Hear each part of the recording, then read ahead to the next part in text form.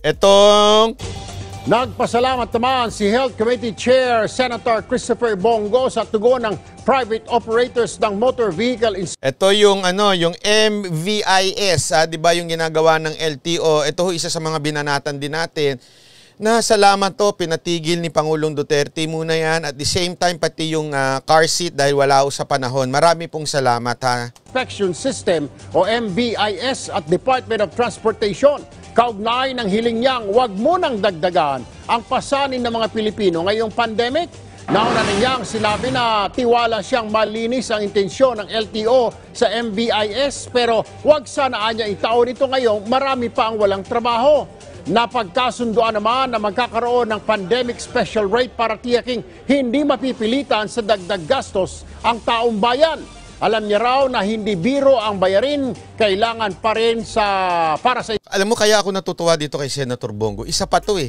Sa totoo lang ha, kung wala siguro si Senator Bongo, patay talaga tayong lahat. Pasensya na, pero totoo ha. Kasi para si Senator Bongo lang ang sensitive dun sa loob ng Malacanang kasama ni Pangulong Duterte. Eh, bakit yung iba parang hindi? Sorry ha, huwag na kayo magagalit sa akin, pero totoo talaga eh. Larisea, marami pong salamat. Ang akin lang, kapag tama, suportahan. Kapag mali or nadapa, bigay tayo ng feedback. Kasi may pagbabago talaga nangyayari o mas malaking reason to keep the ball rolling. Correct, correct.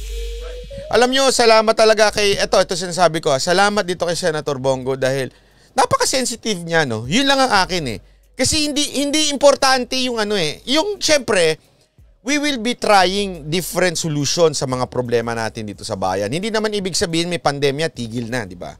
So tinatry natin ng lahat ng solusyon na pwede dito sa ating bayan. Ngayon, ito ang problema. Problema ngayon eh, itong MVIS mukhang, na, mukhang tinotolonggis ng iba. Di ba? Pinakita ko nga sa inyo kahapon na yung mga private company, pwede nilang pabalik-balikin yung mga motorista at sabihin kunwari nag-fail. Pero bayad na naman. Nag-fail Konti lang yung nag-fail, bayad na naman. Eh mukhang niloloko tayo, mukhang sablay, di ba? Yung ganyang sistema. Eh maraming salamat naman din at thank you, thank you din kay Senator Bongo at sa ating Pangulo. Ito po ay suspended. Sabihin, wag muna ngayon dahil tayo nasa pandemic. Maraming salamat po. inspeksyon. Partikular na rito ang isang libo at limang daang pisong halaga para sa mga sakyan at anim na raang piso naman para sa mga motorsiklo. Nakausap ko rin po si Pangulong Duterte at siya po'y mismo sang-ayon na Yon. huwag po natin pahirapan ang ating kapwa Pilipino dahil naghihirap pa po dahil hindi pa po normal ang ating ah, sitwasyon. Sa ngayon po'y marami tayong prioridad.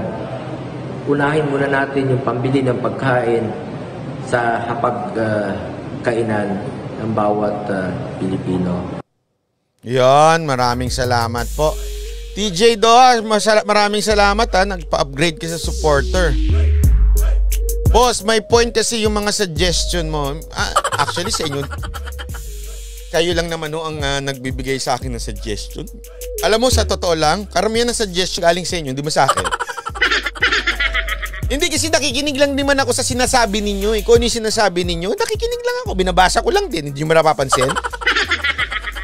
Ma- marami yung salamat sa inyo. Kasi as maganda yan eh. Dapat tayo nakikinig. Yan nga ang kinagandahan ng gobyerno natin ngayon. Yan yung pinagmamalaki ko.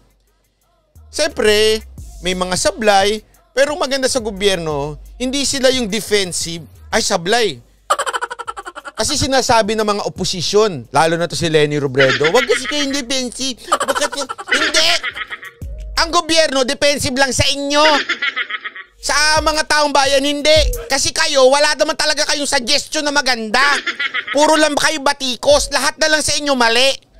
Hindi kayong tamang tao na dapat pakinggan.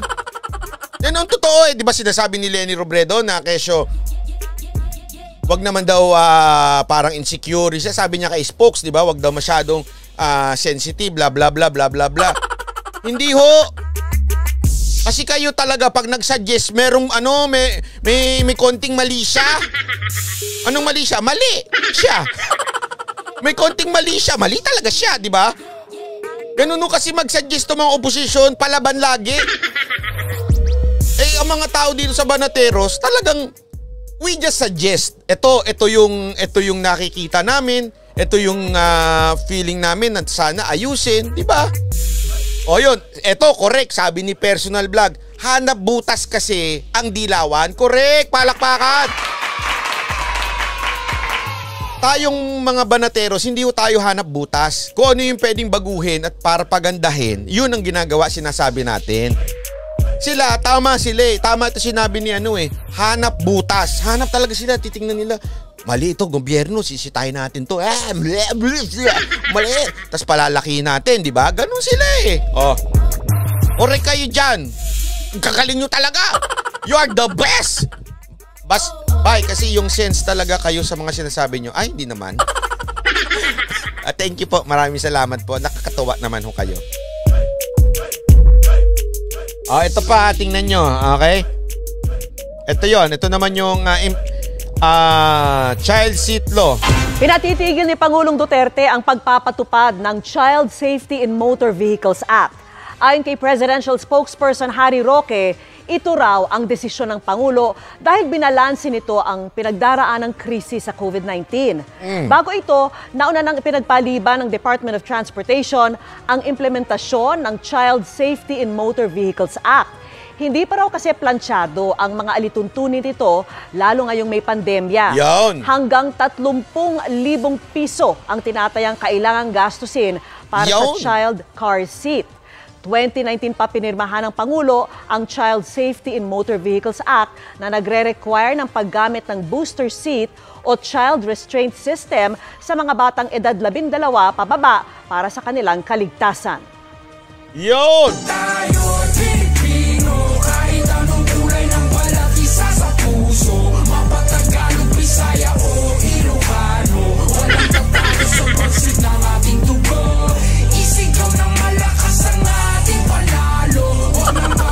Maraming salamat po ah. Galing, galing, galing.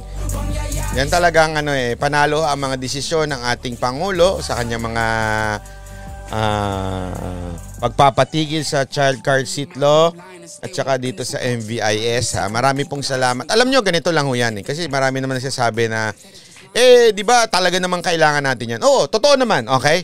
Totoong kailangan natin. Ako, agree pa rin ako na kailangan natin ng child car seat law. Kailangan natin yung MVIS para sa safety ng mga sasakyan. Kailangan natin.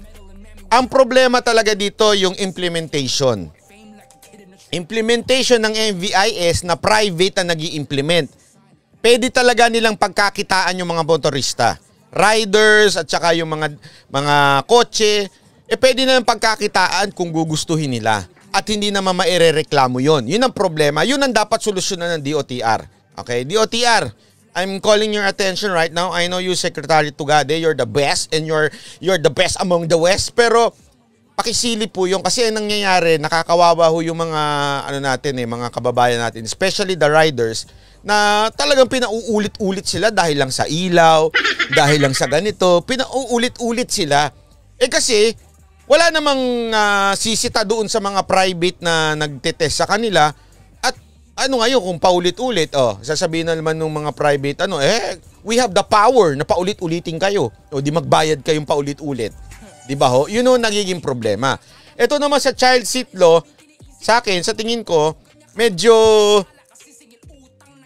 information kulang, number one. Pangalawa, medyo mahal. Okay?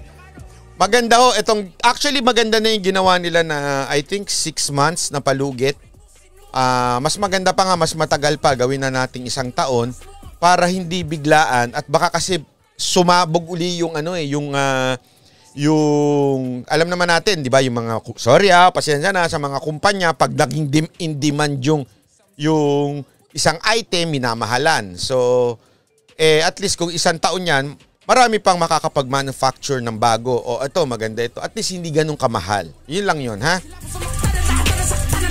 Kasi nga, sabi ko nga sa inyo, dapat to nasa timing. Hindi porke tama ang gagawin mo, eh wala sa timing. Katulad doon ng ah, ano, ang, ang pagkalabit sa asawa mo. Tama naman ho yun kasi mag-asawa kayo, dapat nagmamahalan kayo, dapat intimate kayo. Pero kung wala ho sa timing at wala ho sa mood si misis, delicate ho yun. Ha? Baka ma- mabimbang ho kayo.